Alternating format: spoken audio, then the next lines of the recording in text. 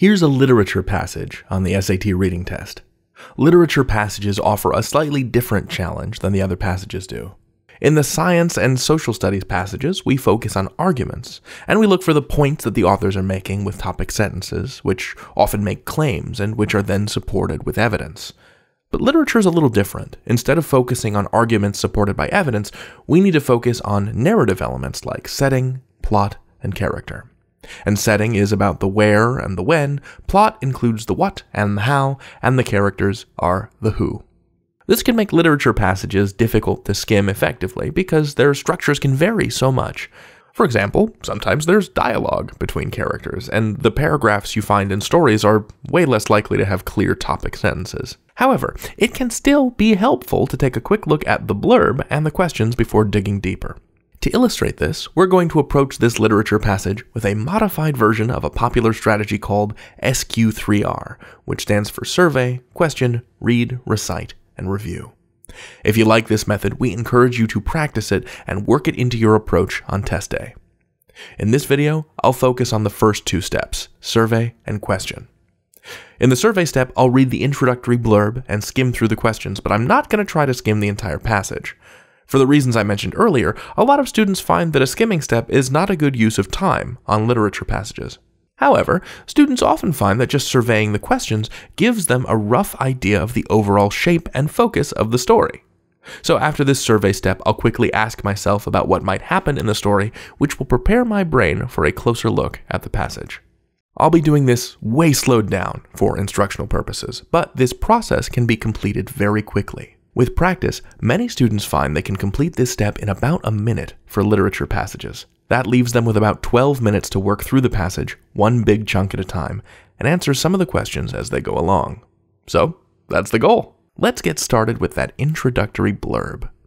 And the blurb is very important. Don't skip the blurb because it gives you all sorts of important information. So, this passage is adapted from Amit Chaudhuri, A Strange and Sublime Address. Copyright 1991 by Amit Chaudhuri. A 10 year old boy named Sandeep travels with his mother, his aunt, Mamima, and his uncle, Choto Mama, to visit family in Calcutta, India. All right, so already we've got at least four characters Sandeep, his mother, his aunt, Mamima, and his uncle, Choto Mama. And it takes place in India. Cool. That's our blurb. Let's not even look at the passage. Let's move over to the questions. All right, question one. According to the passage, the old man was standing on the veranda because Cool. So for this, I'm going to underline veranda, and then later, as we're going through the passage, when we come across the veranda, we'll just circle it. This is just asking us why the old man was standing on the veranda. Okay, question number two. In the passage, the yogurt and the sweetmeats are compared to cool. So again, this is another keyword kind of question. So as we go through the passage, we'll be looking for yogurt and sweetmeats, the mentions of that. Question 3, as used in lines 33 and 35, air mostly means, okay, let me dip over to the passage, look for lines 33 and 35. Okay, there's line 30, 31, 32, 33, air. Gonna underline that. 34, 35, air again.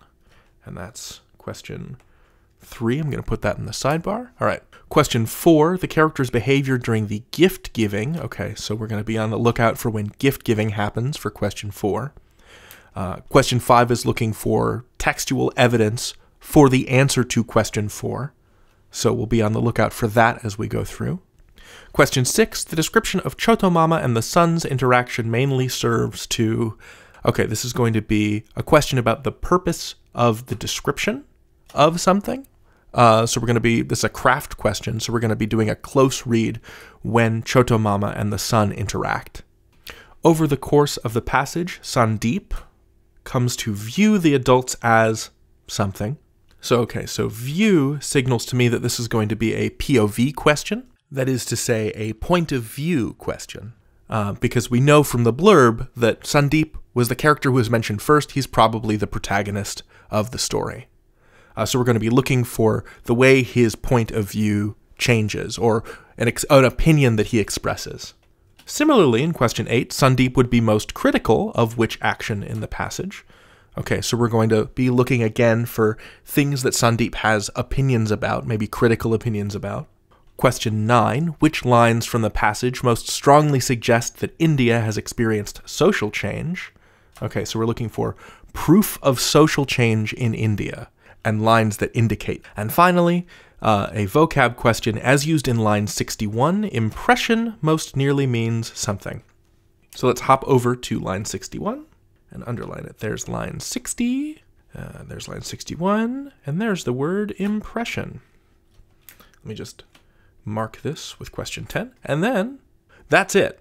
Now, look, the purpose of this step is not to keep all of those questions actively in your head at all times. It's do not feel like you have a responsibility to memorize these questions. But I will say, it is really impressive what your subconscious holds on to.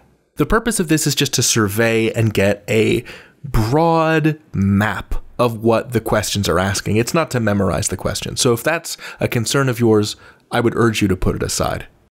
Um, I, I don't know that there's much else that we can do with this passage right now, except to just dive right into the reading.